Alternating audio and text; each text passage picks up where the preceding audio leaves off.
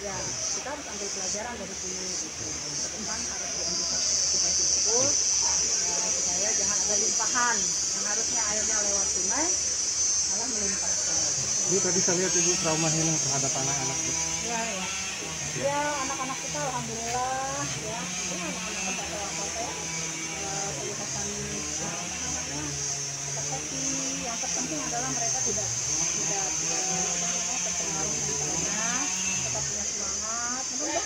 royong kita semua bisa kecil po- po- apa Polri TNI semua bersama Pemda semua gotong royong ya.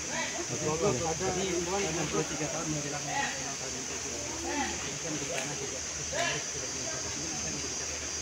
Iya, jadi memang kita ini kan daerah bencana, ya kan? Daerah Indonesia atau Indonesia, daerah bencana maka